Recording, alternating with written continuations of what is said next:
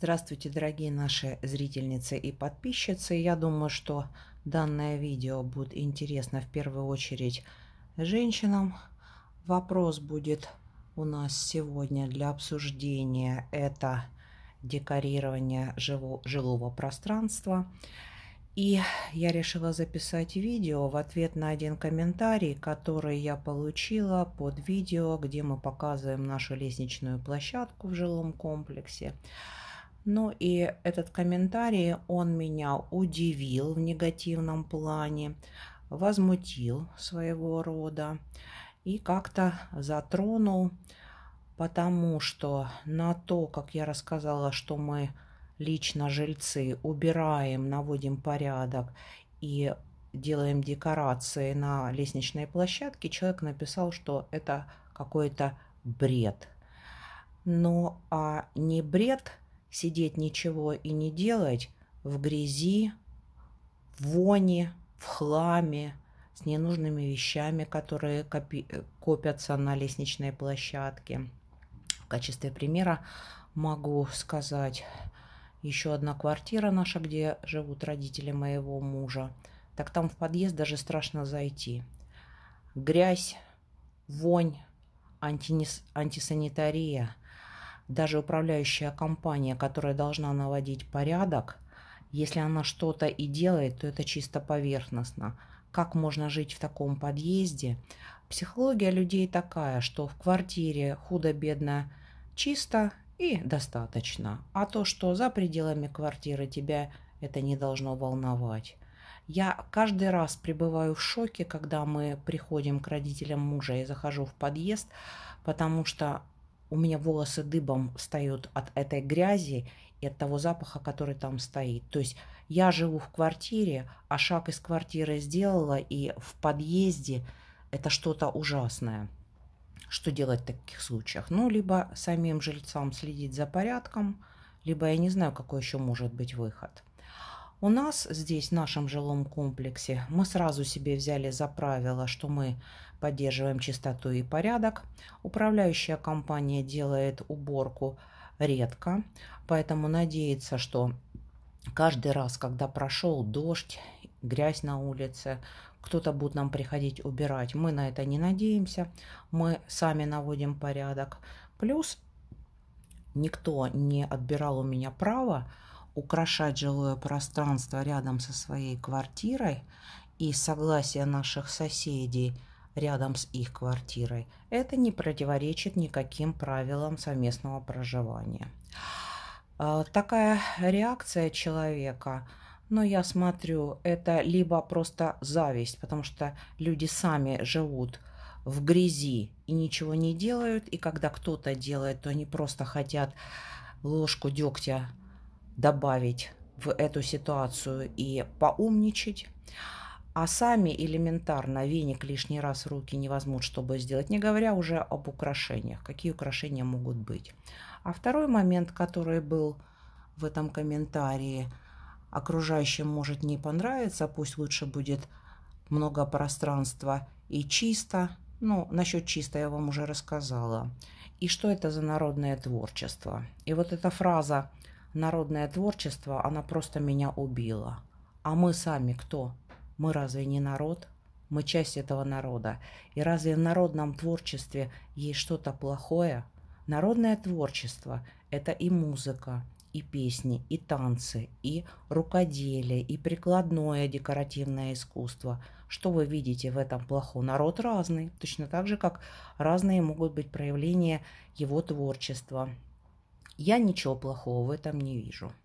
Я вижу только плюсы, потому что если мы сами не будем делать своими руками красоту, не будем наводить порядок вокруг и следить, никто нам этого не сделает, так мы и будем жить в грязи, в хламе в этот, который будет копиться, и на площадках у нас будет хлам всевозможный.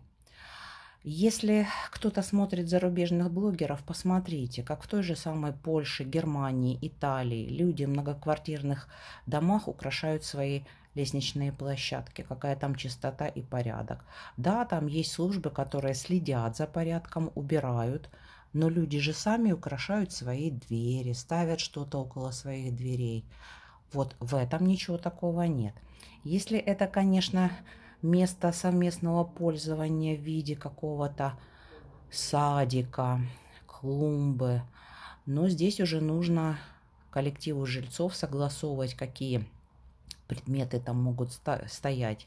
Я, например, знаю такие истории в Германии происходили, когда жильцы дома судились из-за садовых гномов, которые одна хозяйка поставила на территории общего пользования, и какой-то сосед был недоволен этим. И они даже в суд подали и решали этот вопрос через суд, убрать этого гнома или нет. Причем проблема в гноме была в том, что он чисто не нравился визуально, с точки зрения эстетики этому жильцу. Ну, такие случаи, конечно, бывают. Что касается украшения у нас на площадке. Я вам показала часть коридора общего, где находится наша квартира и квартира наших соседей. Другая часть Туда мы не лезем, там мы никакие украшения не ставим. А то, что касается вот нашего совместного пространства, где проживаем мы и наши соседи, здесь у нас все согласовано, все одобрено. Нашим соседям это очень нравится. Когда ты приходишь на лестничную площадку и видишь, что убрано, стоят цветы, стоят какие-то даже тематические декорации. Это улучшает настроение и это придает какие-то краски жизни. Мы и так по большей части вот в России живем э, большую часть года в серости, отсутствие солнца, отсутствие красок – если мы сами еще не будем себе этого создавать, настроение, то это сплошные депрессии, это сплошной какой-то негатив, плохие мысли. Кто нам сделает нашу жизнь яркой и красивой? Только мы сами. А для того, чтобы это делать, нужно желание, нужно время, нужно это все поддерживать, ухаживать за этим. А многие этого просто не хотят. И когда они видят, что другие это делают – их начинает это бесить, и они начинают писать комментарий. Бред. Само слово бред. Ну, наверное, нужно подумать, прежде чем написать это слово, что оно означает. Бред может быть, когда вы, подум, не подумавши, что-то пишете. Разве красивое? А красивое у каждого оно свое. Каждый красоту видит по-своему. Разве красивое может быть бредом? Поэтому вот я решила записать такое видео и высказать свою точку зрения. Если вы этого не делаете, вам не нравится, ну и не делайте у себя. Здесь живу я, здесь проходит моя жизнь. Людей, с которыми я э, на общей территории проживаю. Люди довольны, людям нравится, люди сами стремятся к этому и помогают. Так в чем же здесь бред? Если я этого не сделаю, никто этого делать не будет. Будет просто пустое пространство, это в лучшем случае, если не будет захламлено какими-то выброшенными предметами. А так, вот вроде бы и есть какой-то такой нюанс, никому это не мешает, ничего такого сверхъестественного я в этом не вижу. А вот кто как украшает свое жилое пространство, ну это уже каждый выбирает для себя. Есть жильцы, которые раскрашивают подъезд картинами. Вот раскрасить подъезд квартиры, кар, картинами – это уже другой вопрос. Картина может кому-то понравиться, кому-то не понравится. Цветок и декорацию можно убрать, а вот картину что, придется закрашивать? Поэтому здесь, конечно, есть нюансы. Кому-то нравятся животные, кому-то нравятся цветы, тут всем не угодишь. И все-таки это более значимо. А то, что в нашем случае там стоят цветы, веточки с пасхальными декорациями. Но сейчас Пасха. Потом Пасха закончится, вместо э, зайчиков появятся, может, какие-нибудь цветочки. Ничего плохого в этом не вижу. Э, считаю, что не нужно навязывать свое мнение другим, если люди стараются что-то делать красивое. Это наша жизнь. Мы здесь живем. Мы делаем это для себя. А вам мы показываем, чтобы вы могли посмотреть. И кто-то может это у себя сделать. Кто-то может посмотреть и сказать, ну вот можно так еще жить. Никто ж вас не заставляет точно такое же делать. Это ваше право. Но вот такие комментарии писать, что бред народное творчество. Меня, например, не то, что это оскорбило в плане народного творчества.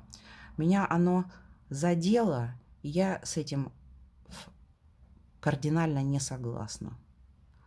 Народное творчество не может быть плохо. Ну, на этом наше видео мы закончим. Я свою мысль до своих зрителей донесла. Желаю вам красоты, ярких красок. Сейчас весна у нас. Готовимся к Пасхе. Всего вам доброго и до новых встреч.